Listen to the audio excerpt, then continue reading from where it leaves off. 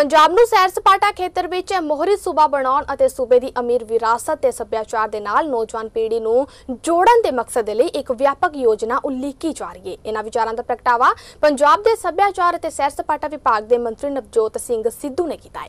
ਪੰਜਾਬ ਦੇ ਵਿੱਚ ਕਈ ਵਿਰਾਸਤੀ ਥਾਵਾਂ ਨੇ ਜਿਹੜੀਆਂ ਵਿਸ਼ਵ ਵਿਰਾਸਤੀ ਸਥਾਨਾਂ ਵਿੱਚ ਸ਼ਾਮਿਲ ਹੋਣ ਦੀ ਸਮਰੱਥਾ ਰੱਖਦੀਆਂ ਨੇ। ਇਹਨਾਂ ਨੂੰ ਵਿਸ਼ਵ ਵਿਰਾਸਤੀ ਸਥਾਨਾਂ ਦੇ ਵਿੱਚ ਸ਼ਾਮਿਲ ਕਰਵਾਉਣ ਦੇ ਲਈ ਯੂਨੈਸਕੋ ਤੱਕ ਪਹੁੰਚ ਕੀਤੀ ਜਾਵੇਗੀ।